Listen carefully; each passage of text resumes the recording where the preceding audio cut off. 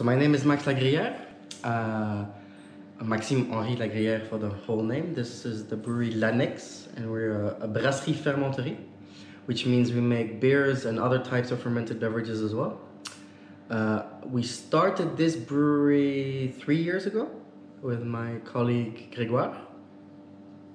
Uh, but the story dates back way longer than that. We're actually high school friends since we were 12 or 13. And then we each went our own way. Grégoire went into fashion design, and I, I studied astrophysics. And then about 10 years ago, I came back to Belgium. We bumped into each other again, and we actually thought, well, there's two things that we want to do. One is we ran the half marathon of Brussels the week after. We almost died, but it did culminate in me running the the Marathon des Sables in 2016, which was kind of the, the big aim for our running.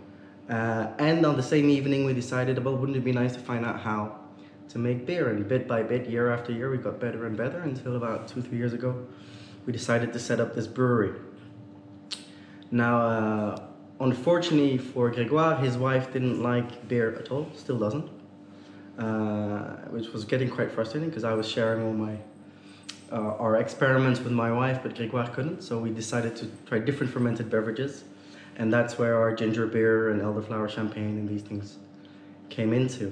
Uh, beer-wise, actually, we when we started experimenting with beer, our main focus was on the yeast. So a lot of modern uh, breweries are really working on the hops and the dry hopping and how to get hops. But we actually we did a, a big, big research on yeast, and we kind of fell in love with the the saison yeast because it's uh, highly attenuating, actually gives a lot of body and flavor to uh, to a beer, even at a, relatively light level of alcohol.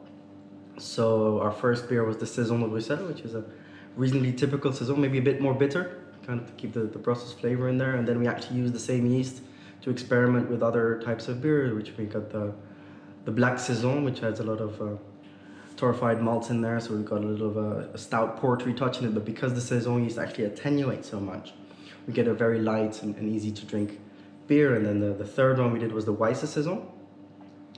Uh, so German Weissen actually means uh, wheat.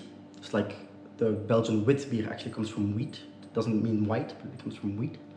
Uh, but the big difference is that in Germany, because they have the Reinheitsgebot, all the wheat needs to be malted. Uh, whereas in Belgium, we use non-malted wheat. So we have uh, the Weisse Saison, which has 50% malted wheat. But you know, we, we remain Belgian, so we put some lemon zest and some coriander in there, like in the Belgian uh, wheat beer. And then the fourth one, the last one of the four seasons, because we thought, well, as we're doing seasons, why not make four seasons? And they're, actually quite uh, apt for each season if you if you go around them. So we missed one for, for autumn, so we made the, the Rosse Saison, which is an amber beer with, with bergamot and also with the Saison yeast. So that's basically our basic stands of beer. Now we're doing experiments. We've got a blonde out. We've got a, a moose milk stout, which we came out. Um, at the moment, these are kind of one-offs. Uh, we might we might have other beers, but we're actually small, such a small beer that we don't actually think we can have more than five or six beers running at one time because we don't have the stock to do it. Especially because parallel to that, we all have all our, our fermented beverages. Uh, so those we've been developing as well. We have uh, now we have two that we have all year round. So we have the ginger beer and uh, raspberry mint, which we have all year round. Because we use frozen raspberries, we can we have access to them. Uh, and luckily for us, the frozen raspberries keep the yeast because we actually use the yeast on the fruit themselves to, to ferment the beverages. Uh, through a change in procedure, however, because there used to be alcohol between one and two degrees, but we've managed to cut that back a lot. I think we're about at uh, half a degree alcohol now, which means we can actually sell them as non-alcoholic, uh, which will help a lot actually in also the sales and marketing of the beverages. Because at the moment we didn't really know where to put them in the shops. Is it is it a cider? Is it you can't put it with the softs because then parents will buy it for their kids and stuff. So that will uh, solve it a lot. And we've noticed that a lot of bars use them as mixers, uh, and at home as well we use them a lot to make cocktails. So one of the next uh, non-alcoholic beverages that is coming out is we're working on a tonic. So it'll be uh, the first biotonic in Belgium, and I think uh, well, there's not that many in Europe going around anyway. How much? What's your production per year before Well, COVID? we're, we're a young brewery, so it, it's it's. I can't tell you what our. I could tell you what it was last year and it was the year before, and I think we we, we more than doubled last year. So I think last year it must have been around. Let's see.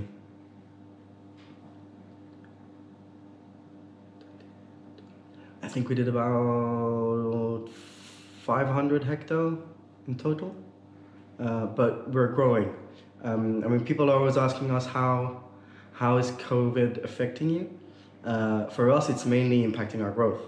Um, we have that luck that we have. Uh, the, the beers for us had a big knock because we had, we actually sold most of our beers in bars and restaurants, uh, but most of our fermented beverages were sold in uh, biological shops, uh, even chains and stuff like that, and we're, we're looking at expanding that as well.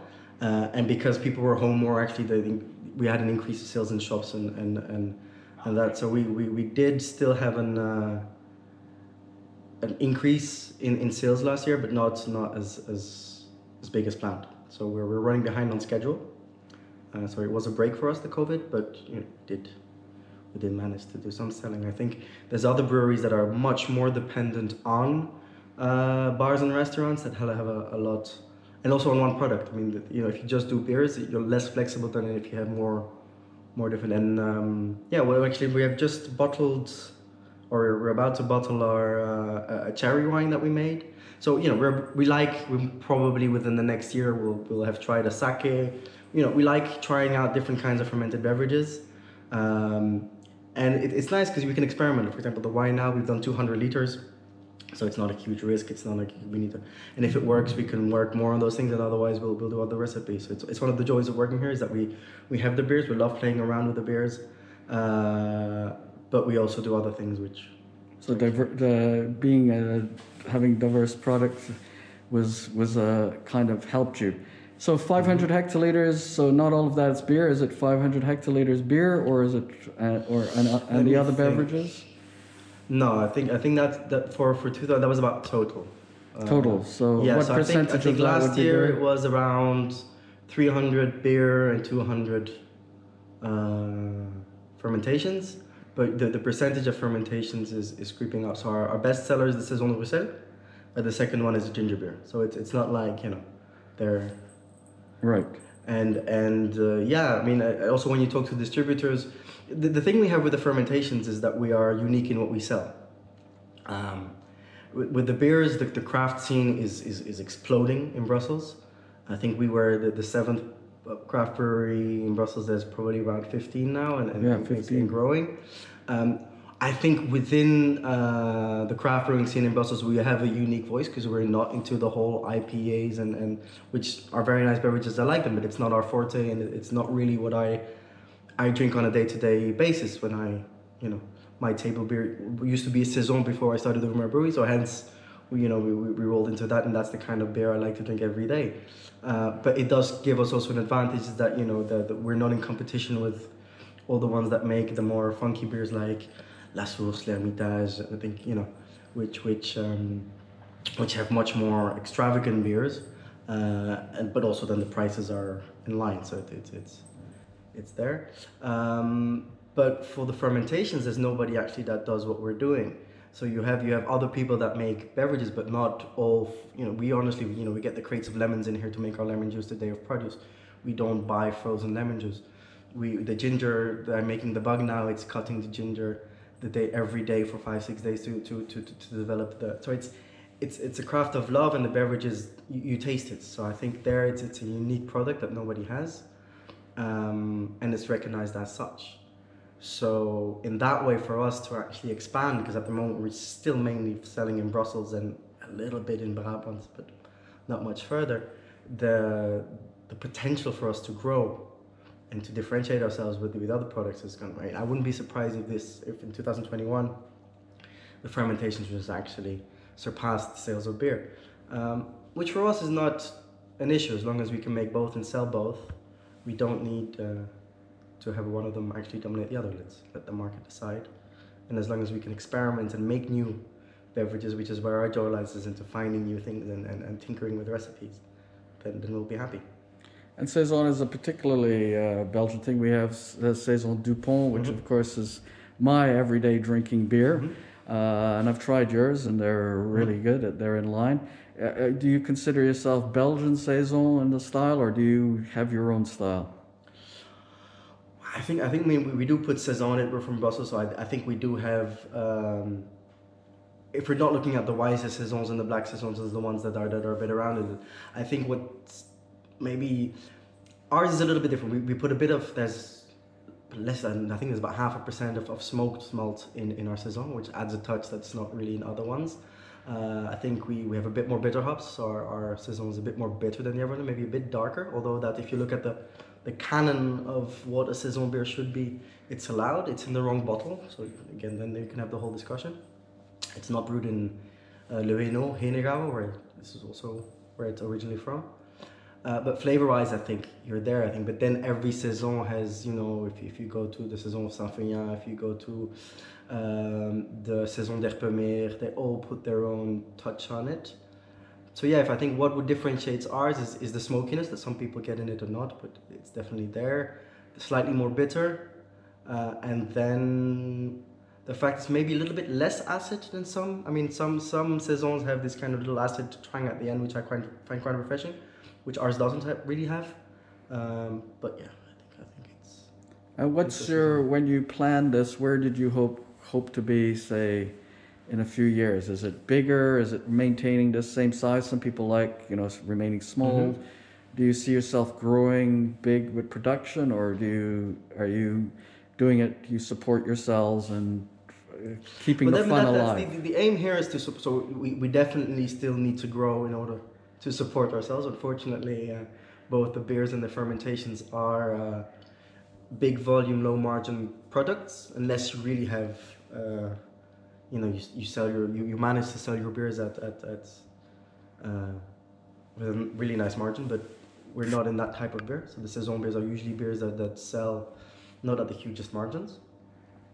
Uh, so we definitely have to grow a bit, but the idea is not to become, you know, to, to outgrow the walls. Here we have uh, uh, two people working with us right now. I think eventually in the future we might uh, envisage a third, but that, that would be it. Um, we're gonna have, we, we had a, a tasting room here on occasion once before, but now we're actually constructing one the, the space next door, which we have as a stock. So those are more the, the aspects that, and as I said, I think for us it's more growing laterally, having more different kinds of products. So if we have a good sake, if we have a cherry wine, or make a uh, an elderberry wine, and those kind of things would be nice. Um, but I mean, we're, we're, I think we, we're capable of, of, of easily doubling production still with the with the, the setup that we have here. But I think that's the aim. The aim is not to start having to buy new things and you know govern the world. We like being local. We still will always want to have 75% of our production sold here in Brussels if possible. But if not, then we'll have to look, uh, you know, Belgium first and then, then maybe export a bit. But uh, our idea is not to export out and just produce and export. The, the thing is that you want to be around the people that drink your beverage and enjoy it.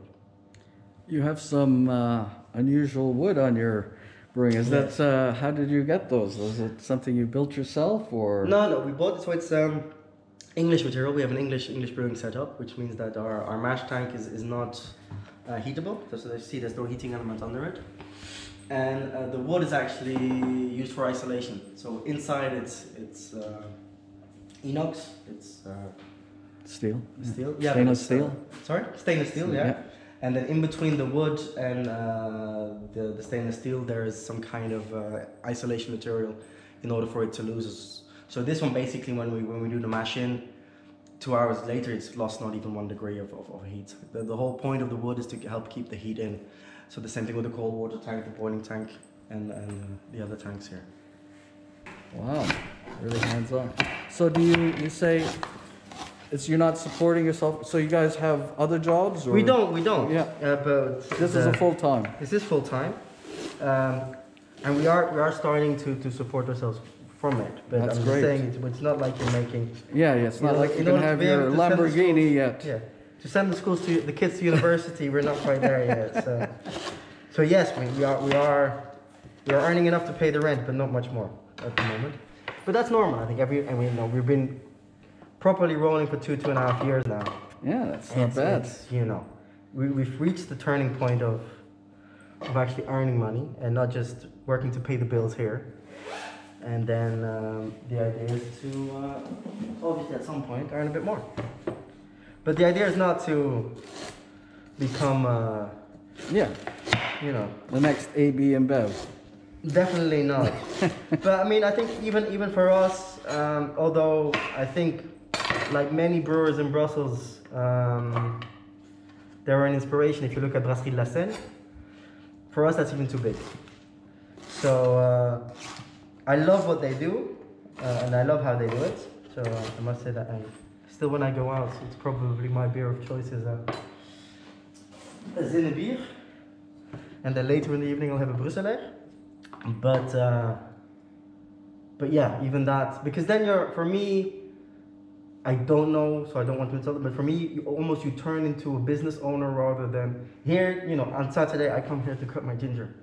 If that stops, and you know I have a machine cutting 50 kilos of ginger because I need to do productions times 10, then where's the fun?